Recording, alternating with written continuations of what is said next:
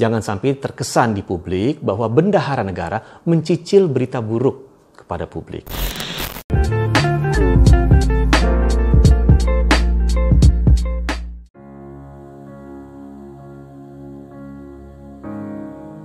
Pemerintah telah mengumumkan bahwa kenaikan defisit anggaran kita tidak terelakkan.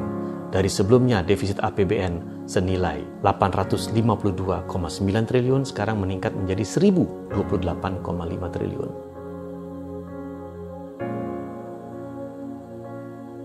Dari tahun ke tahun, penerima negara dari sektor pajak selalu di bawah target. Sehingga memang kita memperkirakan bahwa ke depannya dibutuhkan anggaran yang lebih besar karena tahun ini target pajak juga tidak akan mencapai target.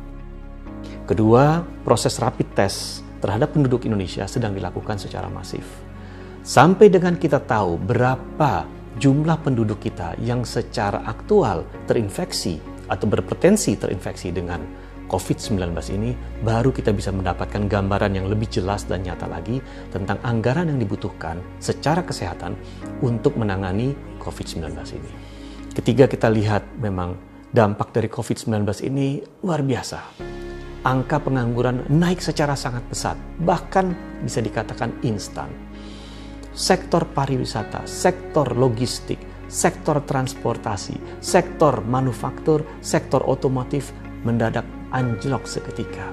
Sehingga anggaran yang diperlukan untuk menghidupkan kembali mesin ekonomi ini atau disebut sebagai pemulihan ekonomi nasional memang dibutuhkan sangat besar dan meningkat dari perkiraan angka sebelumnya.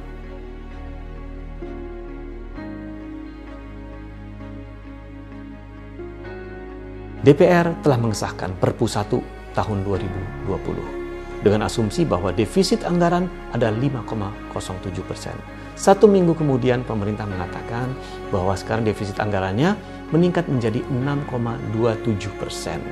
Sesungguhnya berita ini kami perkirakan sudah bisa disampaikan pada saat atau sebelum perpu ini diketok di DPR. Jangan sampai terkesan di publik bahwa bendahara negara mencicil berita buruk kepada publik.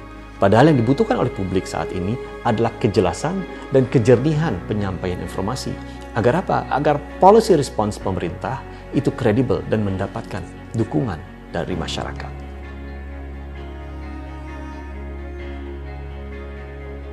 Cara pemerintah kemudian mencari pendanaan dari pinjaman, dari hutang baru, jika itu dilakukan di pasar keuangan internasional, tolong kita berhati-hati karena negara-negara lain juga membiayai defisit anggarannya melalui penerbitan surat utang di pasar internasional. Begitu juga perusahaan-perusahaan swasta Indonesia juga sedang keluar ke pasar internasional untuk mendapatkan dana baru atau dana untuk membiayai utang yang lama. Artinya apa? Terjadi crowding out, persaingan antar Indonesia dengan pemerintah negara lain, antara Indonesia dengan swasta untuk mendapatkan dana di pasar keuangan internasional. Sehingga persaingan ini bisa mengakibatkan kenaikan dari suku bunga pinjaman. Semoga hal tersebut tidak terjadi.